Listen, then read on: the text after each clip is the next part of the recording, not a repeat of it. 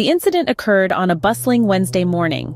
Eyewitnesses say a man accidentally bumped into Bianca in the hotel lobby. It was a fleeting moment with the man continuing on his way, seemingly oblivious to the ensuing drama. This man, one half of a pair of twins who are big names in the LA restaurant scene, then sat outside at a table with friends. It was at this juncture that Kanye West made his approach. The rapper confronted the man and according to witnesses, punched him in the face. Yet in a twist of fate, he ended up hitting the wrong man. The man he punched was not the one who bumped into Bianca, but his twin brother who was sitting with him. These twins, Mark and Jonnie Houston, are proprietors of numerous LA restaurants, including celebrity hotspots like No Vacancy, Davey Wayne's, Black Rabbit Rose, and Break Room 86. They are regulars at the Chateau Marmont Hotel, where the encounter took place. After the altercation, sources say Kanye West left the scene. The police arrived later and now list Kanye as a suspect in a battery report. They want to speak with him about the incident. Law enforcement sources confirmed that the brother Kanye punched, who was not the one who bumped into Bianca, was hit twice. The police are still investigating the incident.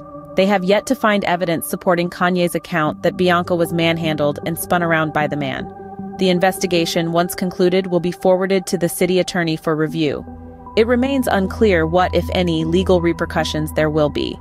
A representative for Kanye insists that Bianca was sexually assaulted, claiming that one of the brothers grabbed her, spun her around, and blew kisses at her. They also claim a staff member checked on her afterward. The representative stated, this was a physical sexual assault and any attempt to undermine the seriousness of what happened is repellent and vile. The Houston brothers have yet to respond as of yet, Sidebar. Did you know the hotel held a luncheon honoring Marina Abramović, who's best known for her spirit cooking dinners and art? Please note Ghislaine Maxwell, aka Epstein's mule, was in attendance.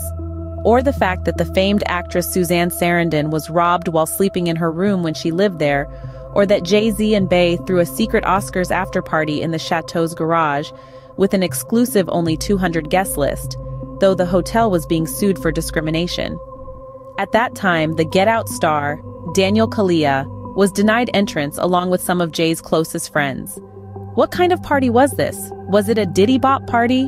Hmm, inquiring queens want to know. Let us know if you'd like to know more about the scandals at Chateau Marmont. Moving on. So that's the story. A brief encounter in a hotel lobby, a mistaken identity, and an alleged assault. Now, all we can do is wait for the investigation to conclude and see where the chips fall in this high-profile incident. Let us know your thoughts and don't forget to like and subscribe.